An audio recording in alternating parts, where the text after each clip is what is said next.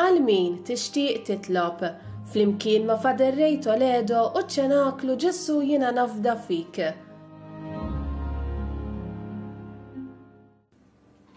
Nitolbu għal familja tiegħi u għal dawk li msejkna innoċenti li qegħdin ibatu l-gwerra kiefra.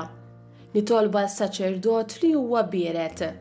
Nitolbu għalija u għal min għamilli ħafna ħsara wkoll.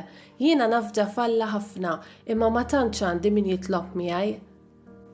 Nirringrazzja lil Alla għax dak li l-ġuvni li tlabtu għalih fit-tlettax ta' April li kien sejjer il-Filippini biex jiltaqa' ma' tfajla u jiżżewwiġha, issa huwa raġel miżżewweġ. Għażiż Ġesù, niżżik ħajr.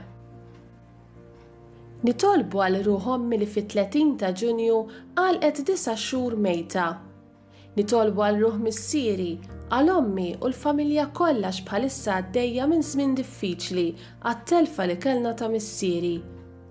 Nitolbu għal ruħ Osbert Fenech minn Ħad-Dingli li ħalliena fit-28 ta' Lulju 2018 fl-għomor ta' 28 sena. Nitolbu għal ruħ Leli Baldacchino. Nitolbu għall-erwieħ ta' Romeo mill-Isla u ta' Mary minn Ħaż-Żabbar.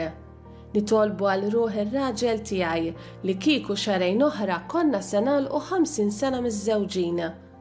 Nitolbu għal ruħ Maria Debono mill-Furjana.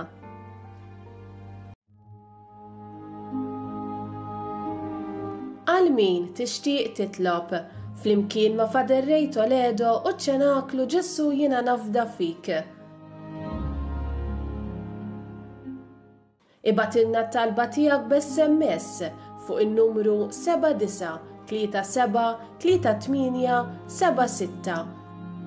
Ibatulna s-Santa Ritratti ta' anniversarji, żwiġijiet jew okkażjonijiet simili ta' min tixtieq titlob għalih b'email fuq ċenaklu ġesù jiena nafda fik at gmail dot com jew inkella WhatsApp fuq 79 37 3876 It-talb jixxandar kuljum fuq Shake TV wara l-aħbarijiet ta' filgħaxija u anke fuq il-paġna ta' Facebook li jisimha Għal Min Tixtieq Titlob.